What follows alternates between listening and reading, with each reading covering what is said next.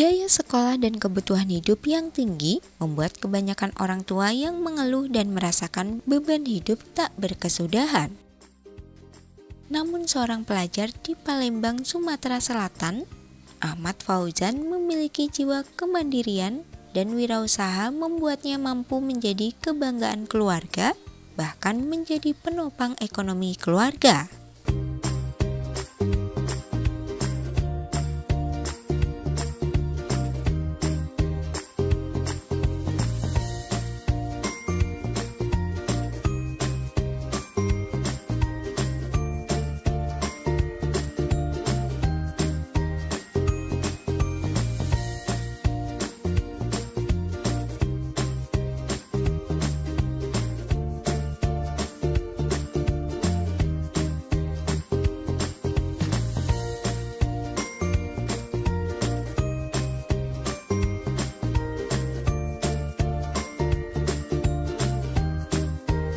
Usai pulang sekolah, Ahmad Fauzan selalu rajin memberikan makanan berupa jentik-jentik kepada ratusan ekor ikan cupang yang ada di dalam gelas kaca.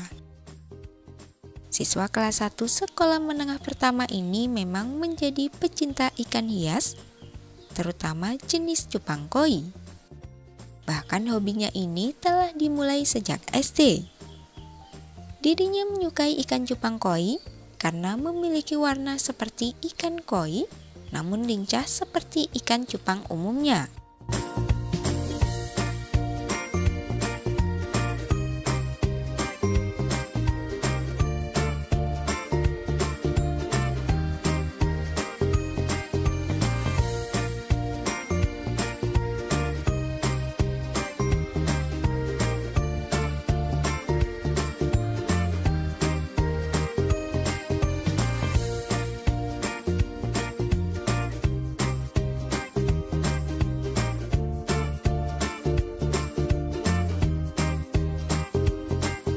Fauzan menjelaskan serius membudidayakan ikan cupang sejak kelas 2 SMP, terutama saat ini memiliki akun Facebook.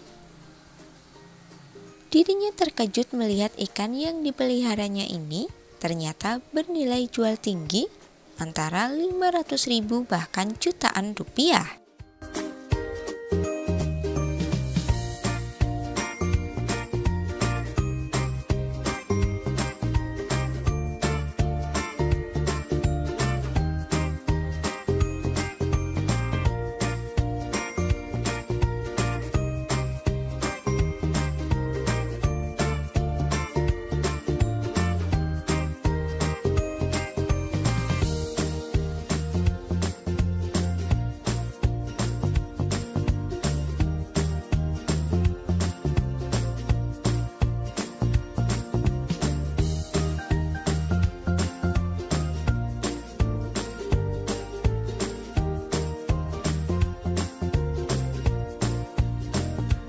Dirinya pun berselancar mencari tahu budidaya ikan cupang koi.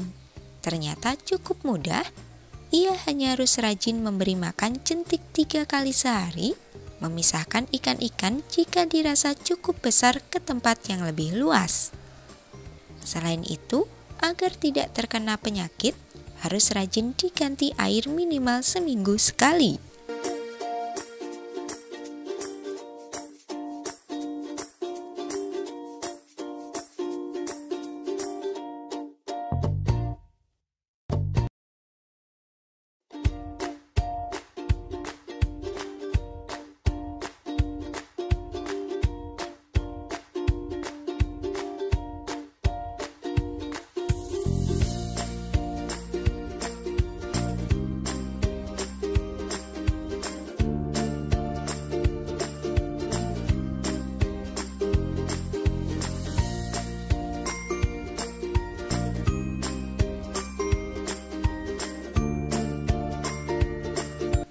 Usahanya ini, ia bisa meraih penghasilan 5 juta per bulan yang digunakan untuk biaya sekolah dan membantu orang tuanya yang bekerja sebagai buruh.